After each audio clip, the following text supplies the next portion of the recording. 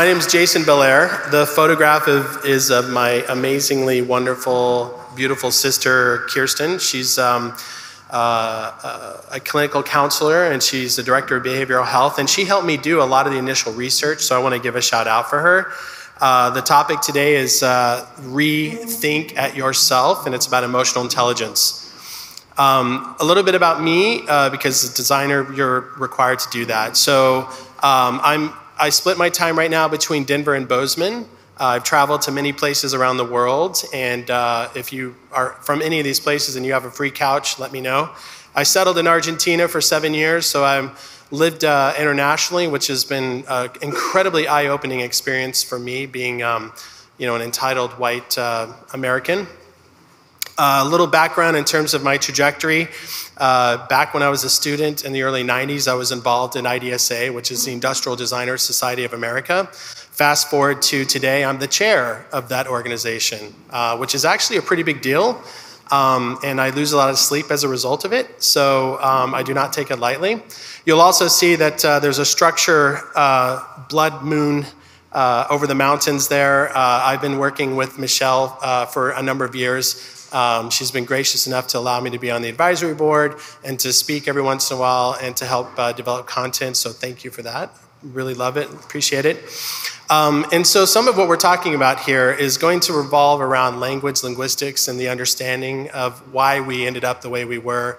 Um, so when you think about like the word stress, you know, and all the different languages and whether or not it's a masculine or neutral or feminine uh, noun, whether or not it's a you know, based on traditions, whether or not life experiences influence the way that we look at those words or interpret those words, whether or not there's trauma, current wars, you know, the pandemic, all of these things are creating in us uh, a real heightened sense of angst and, and uncertainty.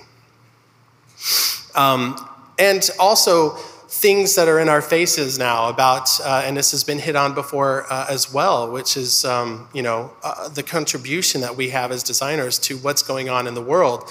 And do we, are we immune to it? Are we actually, you know, contributing to it? Uh, how much responsibility should we place on ourselves? That weighs in, that, that creates stress. Um, and as Americans alone, you know, we represent 5% of the world's population, but generate 30% of the world's garbage, right? Um, Americans waste or cause to be wasted nearly 1 million pounds of materials per person every year. I want to bring this to our attention because as we are developing and becoming critical thinkers, it is important to understand that each of our touch points um, are in fact uh, contributing and, and, we have power. We can do things about that. We can understand and have greater conversations, but in the right context. Um, there's also the idea, and um, uh, you know, Bob and I were just talking, and Adrian, about that book, uh, Designing for the Pluriverse, from Arturo Escobar. He's Colombian. Uh, how design has also created uh, a, a, greater disparity between class. Um, it's also created um, urbanization, and the pover- impoverished, you know, people are going to these areas, and it's still becoming slum towns. And and so, design has an opportunity to reverse that, but also it is a contribution. and so we are growing further apart um, and uh, rather than closer together. We also can look at things historically, like back in the day, in the 50s and the 40s, you know, doctors were smoking in their office and they were going, yeah, this is amazing, this is great. And, and then you look at where we are today, right? And the, where it's led us. And I would push back and, and, and, and really encourage us to think about things in terms of like the metaverse as well. Like, what does that look like? Right now, it's all great. Let's, let's hop on that bandwagon. Let's do all these things. But yet, what is it going to look like 10, 20 years from now? And are we really thinking about that critically? Right now, uh, we're about nine languages a year or one every 40 days cease to be spoken. Um, that should be alarming to us, right? That should be very um, sobering. Uh, by 2080, the rate will rise to you know 16 languages. By the middle of next uh, century, we will be losing our linguistic heritage at a rate of 26 languages each year, one every two weeks. This is the kind of thing that has to be thought of as designers. Um, we have to be able to, to, to control and to uh, contribute in com greater conversations. Otherwise, this is just going to continue to happen and we won't stop it. So, and this is brought up uh, as well. One in four workers relied on unemployment during this pandemic, right? So, thank you, COVID. Thank you for the memories, right?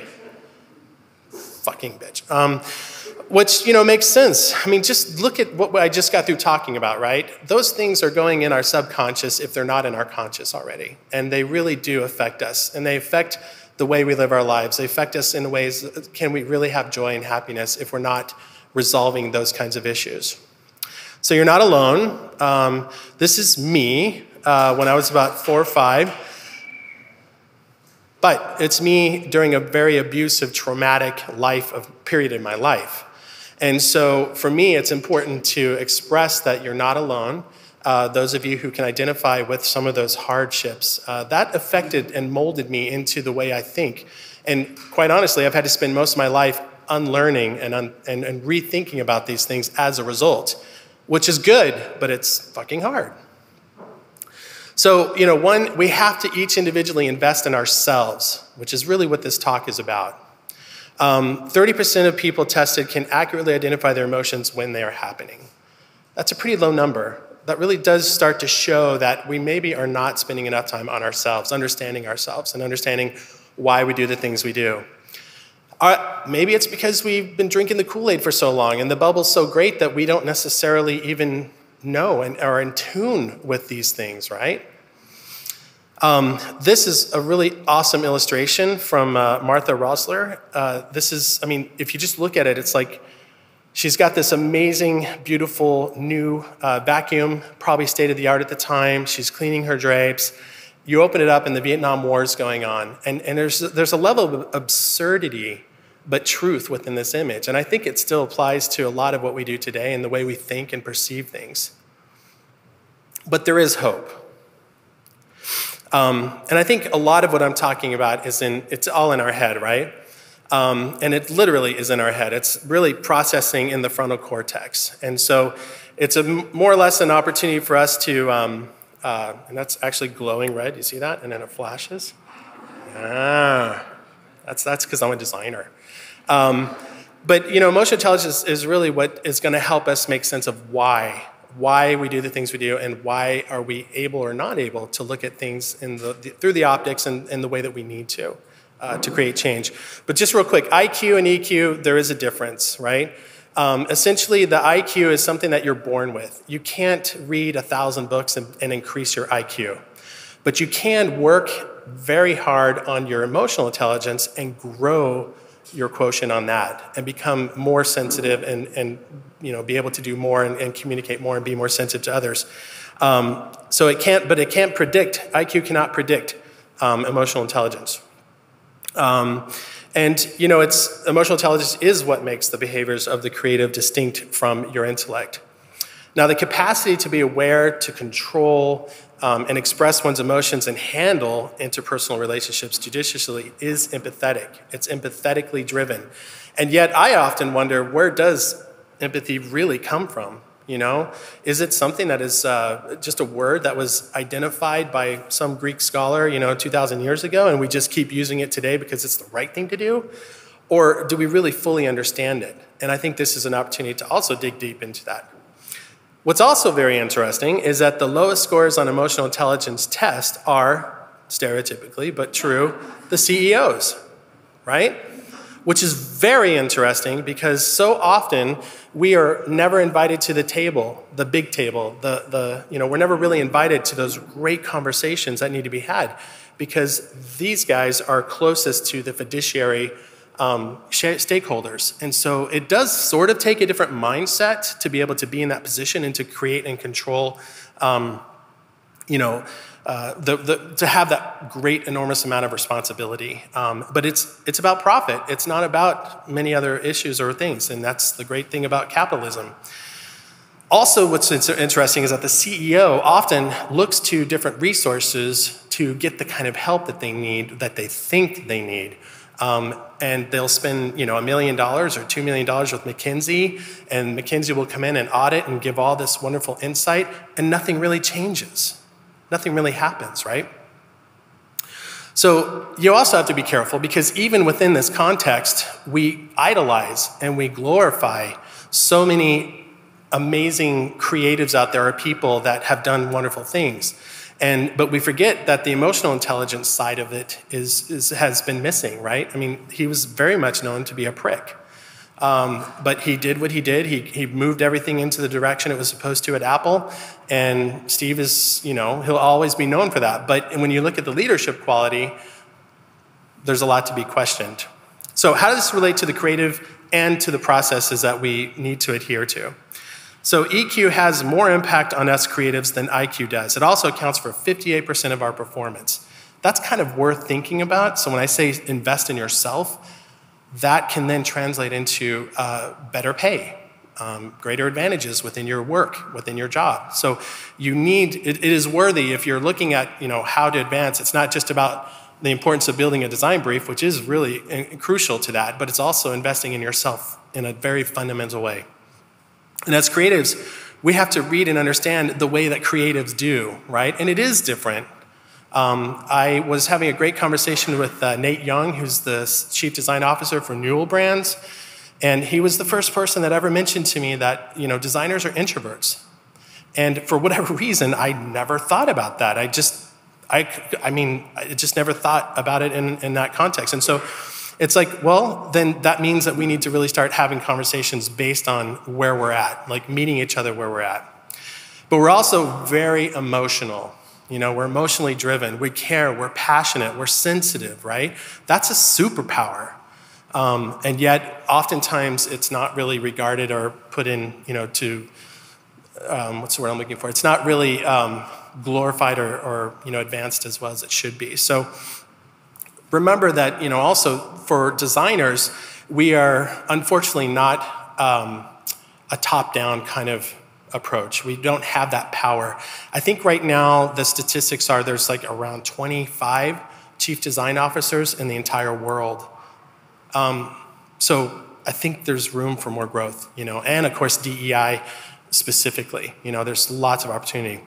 But we are about the bottom up approach. We're, we're scrappy, we're, um, you know, we're kind of grungy, we're able to makeshift and, and prototype and, and, you know, get down and dirty and make things happen which is an advantage, right? Um, and this is why we have to also look at it and say, well, what is this? You know, are we questioning and digging deep into the things that we need to to really make sure that we are um, doing what we can, doing our best uh, to ensure that the processes that we're utilizing are always being questioned? Um, is there opportunity for change and growth in that? And specifically, the comfort zone. Um, we, I would venture to say that the cell phone is one, or two within the greatest addictions that we have um, here in the United States specifically. But I think we also, right up there, is complacency. We don't want to be we don't want to be bothered. We don't want to be pushed. We don't we just want to live our life. I mean, you know, everything's hard, everything and I get it, right? but it's also building bubbles and it's building systems that are not allowing us to dig deep into the way we do. So we need to always be looking at ways to get out of that comfort zone. So this is our chance as creatives. This is, you know, we can we can do this. We can look at this. So this is kind of a little exercise that I like to, to do. It's called the growth zone. And it's a way of looking at how the systems are, to a certain degree, are created. So like if you look at this, you can see that there's in the center a safe zone, a grown zone, and a growth zone.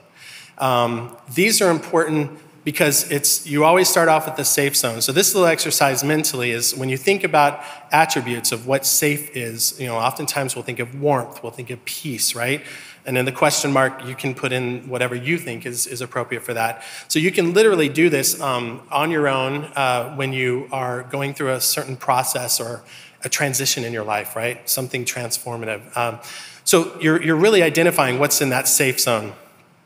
And then you kind of think about, well, what is the almost the antithesis of that? What's the outs, the outer side of that, which is, you know, kind of opposite would be cold or hostile. And again, put your name in there, right? Uh, your, your descriptor. And when you get to the growth zone, then it's like, well, what was the outcome as a result of you going through that exercise? What did you learn?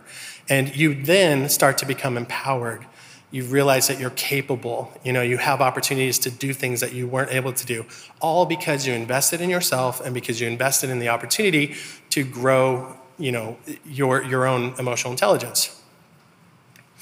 And so if you kind of look at it from, um, you know, from an overall perspective, you've got basically four, you know, visuals here that I created. One is uh, showing the safe zone going out into the grown zone. And then you can see the grown zone kind of going back in, merging into the safe zone, and that's number two image. And then you see that that safe zone has now grown bigger because you went through that exercise and you gave yourself the opportunity to be uncomfortable and to question your complacency and, and the areas that you need to improve by. And then it just keeps expanding. And so that safe zone that was originally this small is now this big and then becomes bigger and bigger and bigger. And that contributes to the 58% of EQ contributing to your overall you know, process and progress. so, as I mentioned before, um, this cell phone uh, technology is, we've yet to fully discover the, not only the positive, right, but the negative of what these, this addiction that we have will have in the future. But we do know that as of now, as an average, every time that you work um, and you have your cell phone and you're deep in your research and it pings and Rio texts me, like he always does, um, and I look at it and I pick it up. He's sitting right there, so you can yell at him later. Um, he, uh, you know, the idea is like when that happens, you, it takes like 23 seconds to get back into that sense of, of focus, right? How many have you seen your coworkers like always on their phone, right? As an entrepreneur, if I'm paying somebody money to do work and they're always on their phone, I'm not really making money. It's not a very good business sense. So, again, want to try to, to recognize, be critical, and, and regain focus as often as we can. But we also need to ask questions like what other distractions exist um, in our lives, right? Well, these are actually quintessential things that, um, that are true. Uh, there's an amazing book uh, called Everybody Lies The Truth About uh, Big Data and, and what the internet can tell us about ourselves.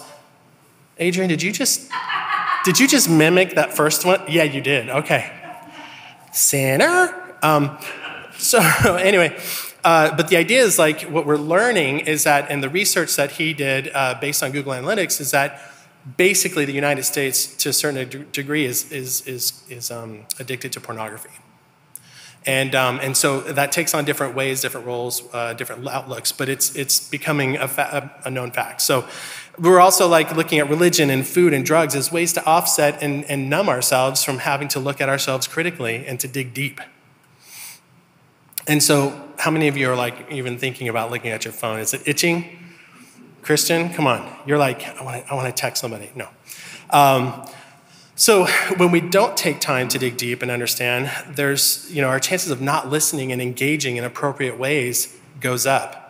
Imagine doing research um, and you are in a place where you're not really fully focused. You're not even understanding why you do the things you do. You don't understand that the trauma that you incurred when you were a child somehow affects your ability to do proper research today. If you're not digging deep and thinking about those things, then you're not as effective as you could possibly be. And imagine what life would be like on the other side of that if you did invest and you did try to learn that. But we have to unlearn, which is hard. We're an additive culture. We are always adding, adding, adding.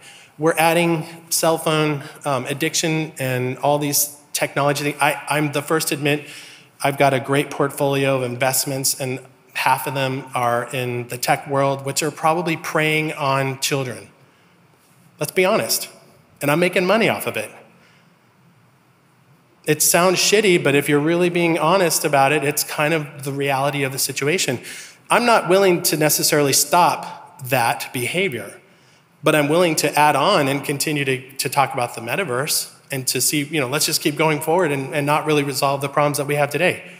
That was a little bit of a dig, but it was just trying to be questioning here. Um, but it really can be traced back even to our educational systems that have failed us from the very beginning.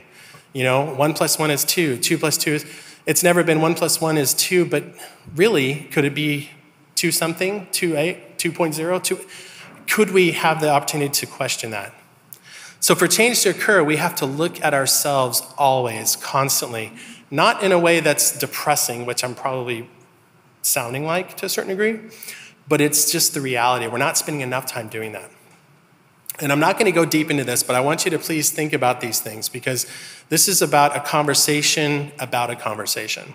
This is about your opportunity to dig and to figure out what you need to do in the way that you need to do it um, to best suit your needs, but to also understand how your self-awareness is, the self, like what kind of self-regulation do you have, um, what are the motivating uh, factors and empathies, and you know how does it affect social skills? So those are things you have to do. Now, I'm going to play a game here. I'm going to throw some images out here, and I just want you to kind of be in yourself, in your body, sitting in your chair, and be aware of what is happening as I show you these images. Okay?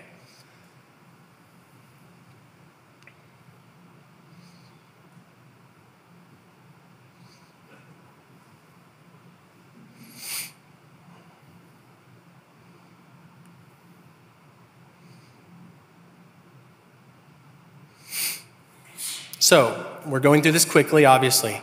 The reason for that is because for some of you, you most likely, you know, it's a little bit jovial, it's a little bit absurd. Um, but for some of you, you might have known someone who is paying way too much money for pharmaceutical products. And so you look at that image um, of whatever his name is, um, Mr. Asshole, Extreme.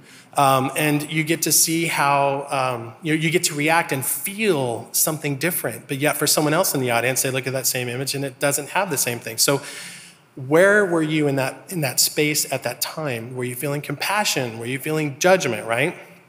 We have to continue to check ourselves, and not being able to manage our emotions means in the heat of a situation we meet out we, we miss out. That's been really hard for me. I'm a 1980s punk rocker. I mean, I literally would go and get in fights with Air Force cadets um, and, you know, skinheads, like Nazi skinheads. I have scars on my body. I mean, literally. And why? Because of the trauma that I experienced as a child taught me that, you know, physical violence is okay. It, it, accomplishes what I need to do to, to whatever that means, right? I'm no longer that way for the record. Please understand that. I feel like I've totally changed, but but the, the initial, like, mm, angst, anger, right? And now I'm learning that if I can control that and understand that, all these opportunities come that didn't exist before. So there's only one thing that we can do at this point, really, when you're reflecting on all this, and I think you all agree. It's just important that we start consuming more marijuana. I mean, right? So, um, or your drug of choice, I suppose. But uh, that's a that's a really that's a joke. Um, but so as we strive towards self and social awareness, um, we see change. We can start to see empathy build. Again, I don't necessarily know where empathy totally comes from. I know what people will tell me they think it comes from, but I don't really know. Um, I guess do my own research is something I haven't really done well enough, but um, but it's it's just a fact, right? So but we know that empathy does exist, and whatever you want to call it, is something that's going to inevitably help us. Um, and without it, you know, without the ability, without empathy, right? So without the ability to understand others, you can't conduct research properly. This is so important. Again, going back to um, certain readings and, and, and uh, research, which is, is indicating that we as people are not doing the proper research. We're doing the same thing that we were taught to do, but people are changing. People are responding differently. People and their biases are no longer really sharing what the truth of the matter is. They're just and they're going to the table already wanting to please you, and that is identif- that, that's just a natural reaction. So when we're conducting research, if we understand that, then the empathy does become an opportunity to pull things out or to guide a conversation in ways that haven't been done before. And so herein lies another opportunity to succeed. So creative outlets become a form of uh, necessary expression, a place to take a risk. You know, now that you're starting to gain um, your, your confidence and gain certain things, um, you know, within your work acumen, you do all of a sudden have this ability to take greater risks. Um, and so you critically ask yourself, you know, again, and this ties in with uh, the, the, the design brief, you know, and your brief. It's like asking yourself about your job, literally critically thinking about it. Bob did a great job last night about expressing how it was for him during the Nike days and you know what he was trying to transition into and not knowing things, right? Um, understanding and digging deep into what or what are you doing? Not just what is your job, because that's not who you are, but it's also the ontological aspect of things. Who are you as a person? How did you wound up being the way you were? And what do you really want to be doing? These are just things that are ongoing conversations that you need to have. Um, I love the fact that there's a theme going on, which is life fucking sucks in a way and, and it's hard and we need to be there for each other but we also need to understand that our mental health is imperative and we deserve to have these hard conversations and to grow um, the conversation even if it doesn't feel right you know um, so anyway but going back to my point is like you know that there's something better out there there's something deep inside of you that's pulling you into something that you don't really know just yet you're in your studio, you know, and, and Christian is asking himself, oh, sorry, I don't want to keep using it as an excuse. Um, but, you know, you start asking yourself, like, why aren't we doing better? Like, what is happening within this culture and this dynamic? And what are, where are the opportunities for change? Why is it so easy to come up with excuses? And I think that's a huge thing as, as being addicted to complacency. Um, there's, there's room for excuses, um, which I think then becomes a conversation about integrity. That's not for now. So, um, I even know what it looks like to be in a culture of creativity, of innovation? This is a really important question that I ask myself because I have uh, equity and, and, investments, so I put my money where my mouth is. And so um, there's this new venture that I'm in, and it's, you know, there, there's opportunity for me to teach them things that they don't know or have ever thought of. Um, and when they talk about innovation, they're talking about iteration. And when I talk about innovation, I'm talking about things that have never been done before. And that's what I want to put my money in, right? But is my definition as a result of all this work that I've done on myself? Or am I just perpetuating something, this, con- this conversation that's cyclical, that I, this way of thinking, this indoctrination, you know? I think, I think it's maybe both. You know, you think about our work and our school, um, the cultures and the environments, and the way that the psychological aspects are with us and towards us, right?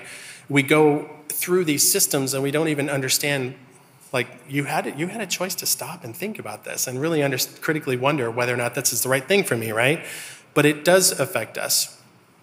And in certain contexts and this is kind of like one of the things you can put um, you know scroll up or scroll down um, you know you can start to ask yourself how do you feel in a certain context you know? Are you afraid? Are you anxious? Are you depressed? Being self aware is imperative to your success and to growing that 58%, um, uh, you know, for, for uh, emotional intelligence. You can also look at it and say, in order to be better, you know, uh, me and processes, I will what? I'm going to control self talk, which is what Bob actually mentioned yesterday, too.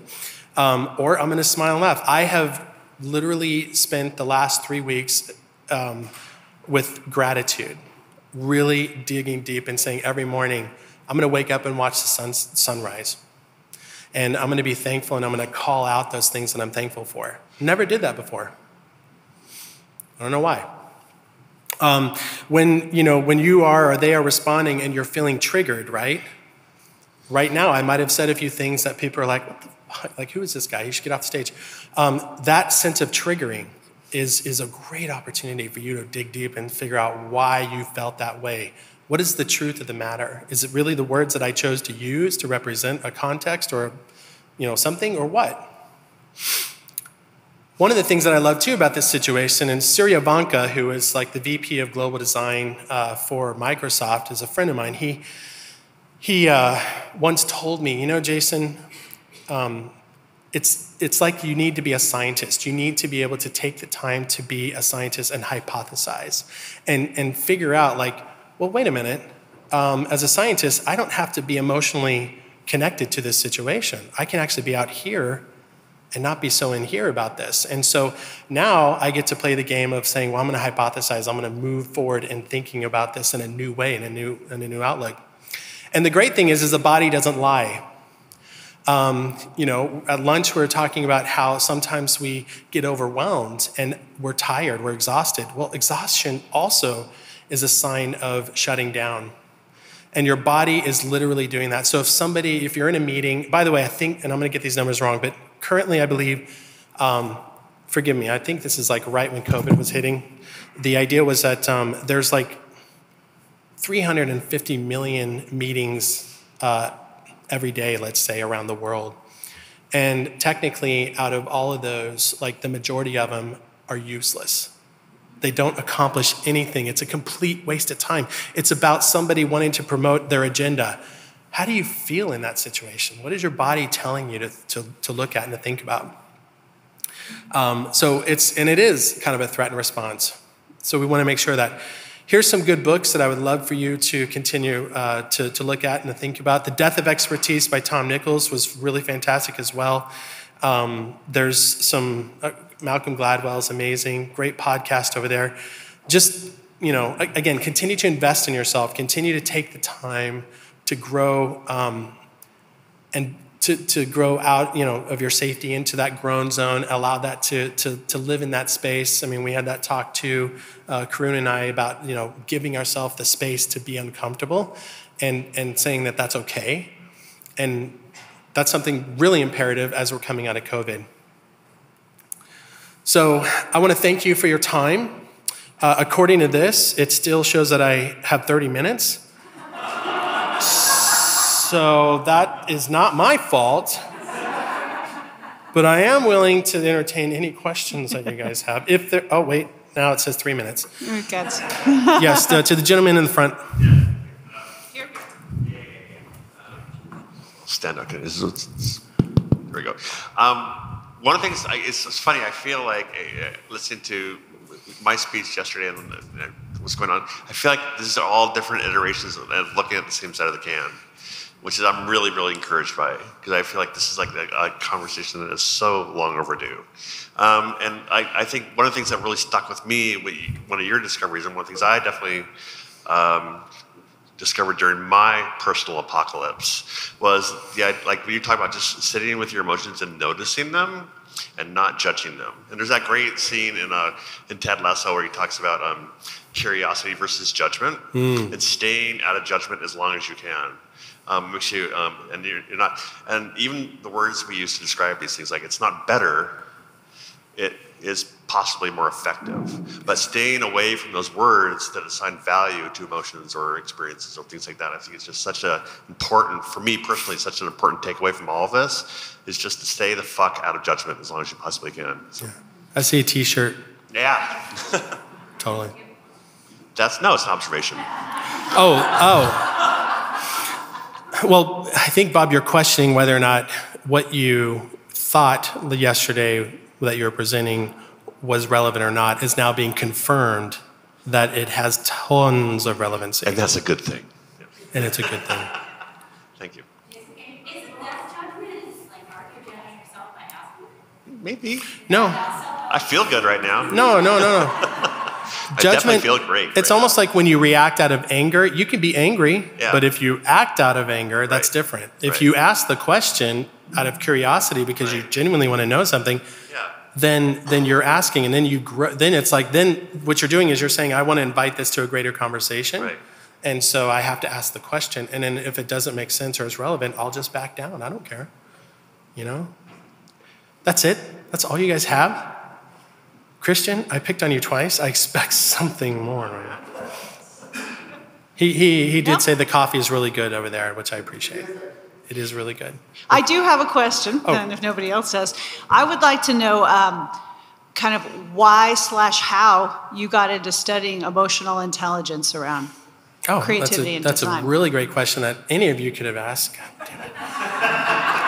but I'm going to shame you and I'm going to do the opposite of what I just got through talking about. So, Dill, uh, great question. The, the answer to the question is um, so, I, uh, being that, that first slide, second slide that showed kind of my, um, you know, my trajectory of, of all this stuff, I've had the opportunity to really look and dig deep and ask questions with people that are way smarter than me, and most of you are in the room are.